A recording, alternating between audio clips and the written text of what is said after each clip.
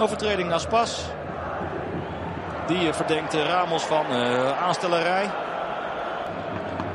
Nog niet de gelegenheid om voorin gevaarlijk te kunnen worden via deze Aspas. Een van de blikvangers van deze ploeg. Net als Oriana dus. Die zal vertrekken.